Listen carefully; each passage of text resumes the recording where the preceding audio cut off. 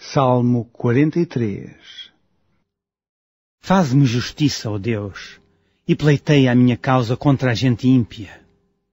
Livra-me do homem fraudulento e injusto, pois tu és o Deus da minha fortaleza. Por que me rejeitas?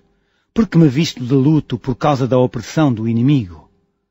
Envia a tua luz e a tua verdade para que me guiem e me levem ao teu santo monte e aos teus tabernáculos. Então irei ao altar de Deus, do Deus que é a minha grande alegria, e com harpa te louvarei, ó Deus, Deus meu. Porque estás abatida, ó minha alma, e porque te perturbas dentro de mim? Espera em Deus, pois ainda o louvarei. Ele é a salvação da minha face, e Deus meu.